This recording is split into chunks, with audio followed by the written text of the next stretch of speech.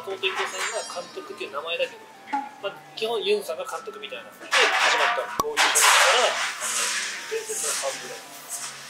有名な。さすがねまあちょっとサンドレンっていうワードが出ちゃってるサンドレンって6時半9時半3時とか。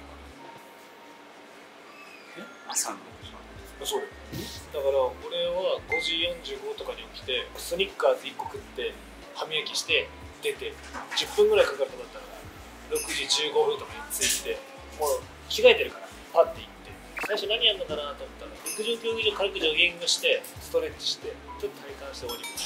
もうあこれいらねえじゃんと午前中フィジカルやって午後ボールでフィジカルボールで体重やってきつかったな次の日。またジョギングやなちょっと山行きますって言われて集合してジョギングますジョギングバーって山まで行鳥栖の人は絶対知ってない朝日山っていう階段がある何百段鳥栖の名物なんだけどそれとバーって下ってこい。5周ぐらいマジできつかったよこれが3日ぐらい続いたしかもところどころにスタッフ配置してサボってないか見るのよ。こうやって手すりあるの真ん中に。こうやってさきつい時手すり使えるじゃんでもユンさんが言うから「ああまあな手すり使うな」日本語うまいから「まあ手すり使うなよ」とか言って俺らも使えないから必死に下りもきついから結局本当にきつかったあとね日本でワールドカップやった時に大分のカメルーンかなんかキャンプしたとこ中津村でキャンプしたの当時鳥栖さそんなにお金あるチームじゃなかったから宮崎とかあんま宮崎行ったのそのまあ第一次キャンプ中津村行ってサッカー場一つあって普通に練習してってその時もサンブレあったのサンブレやってて最後の日練習試合やるっつって佐賀大かどっかユンさんが試合前にお前ら今日10点取って勝たなかったら1点だったら9回そこも坂なんだよ坂ダッシュあげるから結局3-0ぐらいまでしかいかなくて7回ダッシュみたいな言われてあマジかよと思って。2回ぐらいやった時にもういいよお前ら。帰ろうとか言って。おいよかったとか言って多分ねそれで確実に強くなると思う鳥栖もさその J2 から J1 上がった時とか J1 の最初の方とかさめちゃめちゃ良さが出てたからユンさんのきつさも当時はめちゃくちゃ僕強いそれこそまだ若かったしかもその時は、まあ、俺は勘違いして入っちゃうんですよ。あジュビロから来てはいはいしかもその契約の場ではさもう絶対ずっと頑張って試合に出れるもんだと思って行った。らそしたらそれまでのチームとは逆でさキャンプ中全然使ってもらえなくて点は取ってたけどなかなかスタメン組じゃないなって思うまず開幕戦スタメンじゃなかったに不満を持ってたらしくて自分で。自分なんだけどね不満持ってたっぽくて開幕戦終わった次の日の練習でユンさんとか言ってなんで俺スタメンじゃなかったんですかって。多分キャンプの練習で一番点取ってたの点取ってるし調子も悪くなかったと思うそれはちゃんと説明受けて多分その時の勘違いしてたから点がないっすバカだよね。出れると思ってきちゃってたから。あそれは練習でもさ不安出ちゃうしチームは良かったけど、はい。俺もチームの環境とかさ選手とかスタッフも良かったけど俺自身が一番ダメな1年だったと思う、はい。そのトスの1年その1年気づけなかったよね。2年契約でいったって言ってたはい。だけど1年でもういらないですみたいな。2年契約はしたけどもういらないみたいなこと言われてもう俺悔しかったからその1年。全然結果出さなかったからもう1年ちょっとトスで頑張らせてくださいって言ったらちょっと探してほしい。ですチームちょっとオブラートに包んであなたの年俸もそんなにトスとしては安い年俸じゃなくてこの結果で来年連絡出せるようなあのあります俺めっちゃ悔しくて悔しいけど情けなくて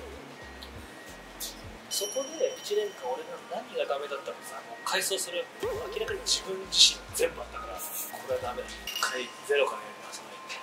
と。思ってそしたら群馬がオファーくれた。そこで気づいたの大きかった仙台のさ1年目とかも試合で出続けてでも2年目出れなくなってさダメだけどそこであんな多分気づいてない。今思えば自分でもさ1年目出たけど2年目出れなくなったらなんでも気づいてない。そうすると本当にダメになっちゃう。自分がね。そこであ俺は一回自分で叩き直さないとダメだと思って群馬に行ったまず悔しかったあとうちになるん。だけど山形の時に天皇杯で当時 J1 でずっとやったの山形8で俺年長かなん。かで決勝ゴール勝ったのその人は結構あったかく迎えてくれてそん。な1年全然活躍しないでさ出てったやつ拍手してくれためっちゃ嬉しくて本当ありがたいなと思ってサッカー選手っていいなって普通だったら嫌だよ1年でさしないって言ってくれるからさあでも確かかしたら使われなかったら残念だったね。ああ本当はもっと出れたのにねこうやって活躍できるのに。もったいないでもそれはねそ鳥栖で気づけたから多分山形の結果はねだった群馬ではもう本当ひたすらだったね。がむしゃらにひたすら当時の群馬もね環境はまあ今まで来た中で一番良くなった。これは正直に言った方がいいと思う。はい。常に練習は人工芝カチカチの練習場がさ固定されてないからはいはい。車で15分のところもあれば40分かかるところもあるし前橋育英のグラウンド借りる時もあったんですあそう前橋育英のグラウンド借りる時って午前中やって午後から前橋育英の選手がグラウンド使うからですはい。でも待ってるのでプロの俺たちが「すいません育英の選手来たんで」って言ってもう着替えも外でしなきゃいけないから「さあ急いで急いで」やめてくださいみたいなこれが現実だって。でもそれもハングリー精神につながったかも。群馬ってねめちゃめちゃいいチームベテランの選手と中堅若手がバランスよくて当時ベテランの松さん松下祐樹さんとか今コーチやってる前橋育英かなんか熊林慎吾熊さんがいて戸田さんもいて戸田さんもさ日韓ワールドカップの赤モヒカンのイメージで行ったのよ分かんないの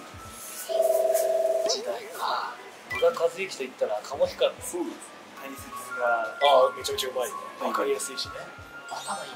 私たちめちゃ怖い。ってイメージだったけどめちゃ優しくてご飯も誘ってもらったしボケれるしい。じれるし楽しかったそこでもやっぱ学ぶべきことたくさんあった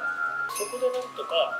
ある程度試合にも使ってます当時副島さんって監督だったんだけどその人がめっちゃ熱い。人でめちゃめちゃ怒られたけどめちゃめちゃ熱を持って接してくれる割とスタメンに使ってもらったけどサビの時も試合前に呼ばれて「お前なんで今日サビなのか?」ってまあって言われて「今日が結果です頑張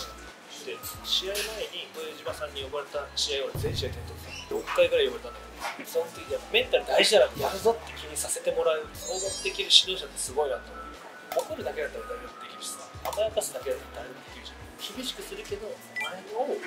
思ってるからだぞってさ。それはでも思い出だね監督室呼ばれたの試合前試合直前に。なかなかなくないですないでしょ？じゃあ俺も怒られんのかなと思って。お前今日結果頑張るよサブになったけどキープレイヤーだからはい頑張りますちゃんと点取りするときすごいみんななんか仲良かったよめちゃめちゃ大事だなと思って仲いいって。よくさ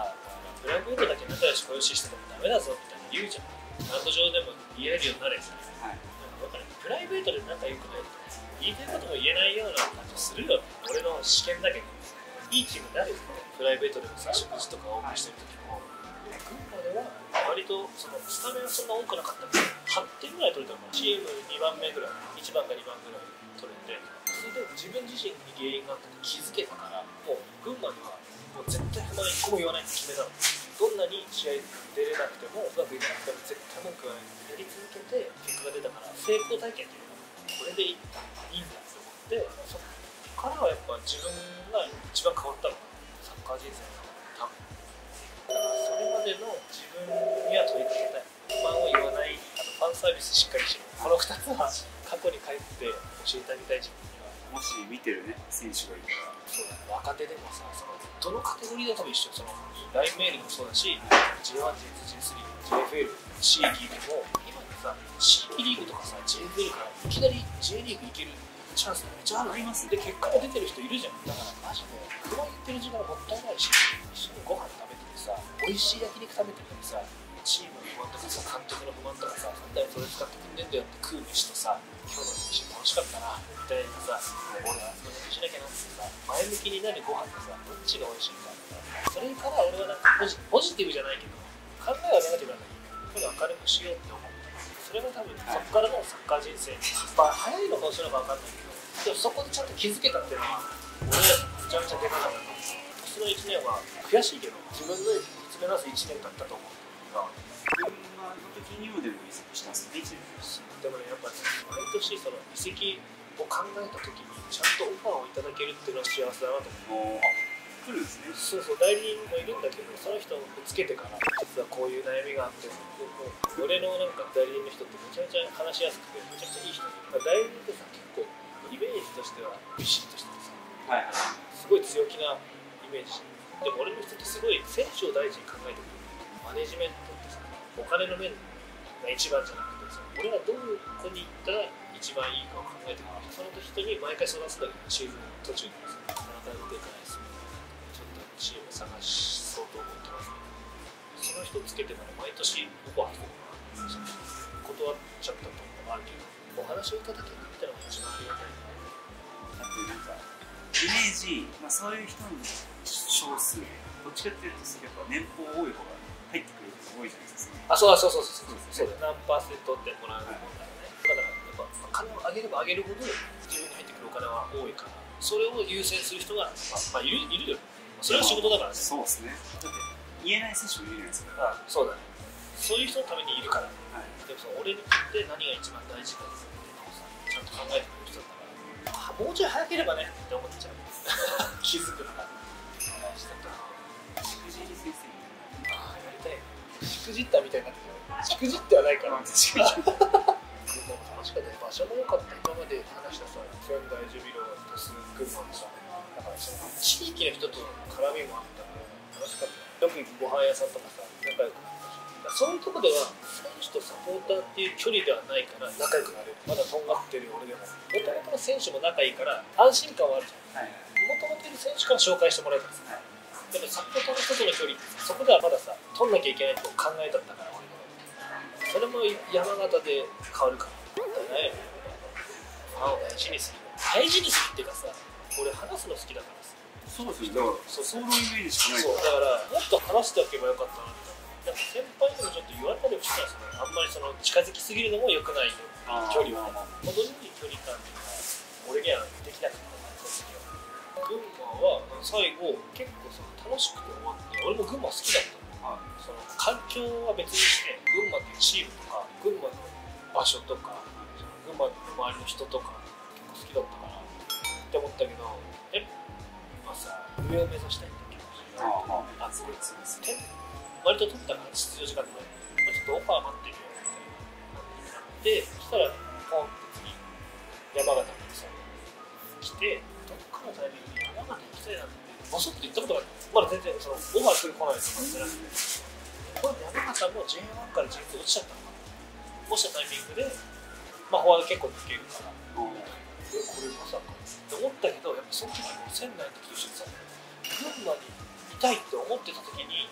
ポンってきたから。で幸せだよね。そんなのって全部で悩んでるやつじゃないですかそうだね。だからどこも行くチームなくてオファー来る人もいるし俺もそういう状況あったからどこも行くチームなくて探してやっと行く。山形のオファー来てまあもう2択だよね。群馬か山形来て山形に決めた。群馬もすごい引き止めてくれてでやっぱステップアップもそうだし環境もそうだし山形って東北ってのもあったから震災が起きた次の年だったの。はいこれ群馬にいる時2011にさ東日本大震災起きてはうわ東北がやばいってなって。俺も帰れなくてさ実家に。やばすぎて。ガソリンもその当時さ超並んでたじゃん何時間とか。だからガソリン切れたらやばいから監督からも帰ってもいいけどもしそういうことがあるかもしれないから思いがけ判断しろって言われて帰れない次の年。にその年か。山形からオファー来たの。それがいきますね。運命っていうかさ東北のためにやれってことかなってのもあったね。正直。ようやく九州まで行って東そうだね。あの1回目の大きめの日本一周はそこで完結する。一旦は。一旦はね。そこからまた新たな旅が始まるけど